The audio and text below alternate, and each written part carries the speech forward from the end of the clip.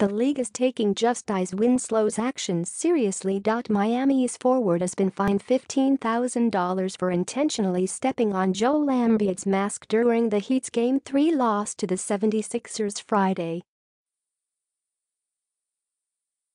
Miami Heat forward Justise Winslow has been fined $15,000 for unsportsmanlike conduct for intentionally stepping on and attempting to damage the facemask of Philadelphia's Joel Embiid, it was announced today by Kiki Vandeweghe, Executive Vice President, Basketball Operations the league's statement read.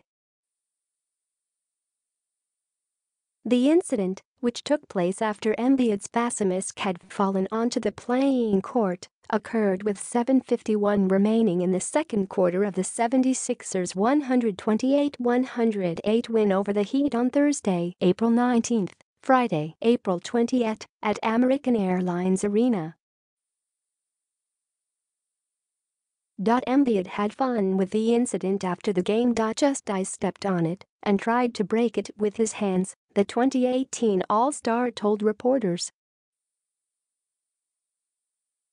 But little do they know is that I have about 50 of them.